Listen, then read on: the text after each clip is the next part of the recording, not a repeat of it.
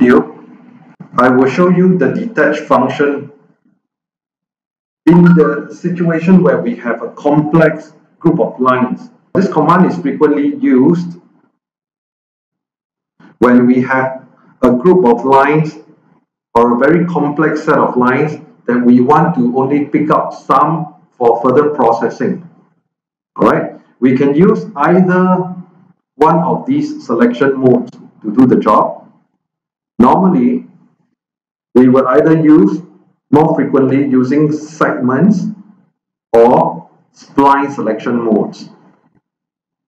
So I'm going to use this as an example by turning on the spline selection mode here.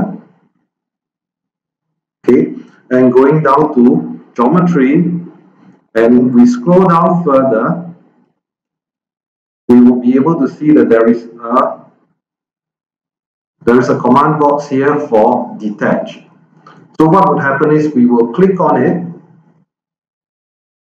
and we will give it a name. So for example, in this case, I'll just call it curve line.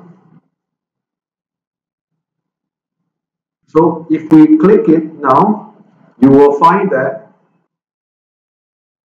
the line has been detached from the group itself. So now I'm going to deselect this and select the curved lines. So you'll find that it is now an independent separate group compared to just now the whole set of groups here or the whole set of lines here.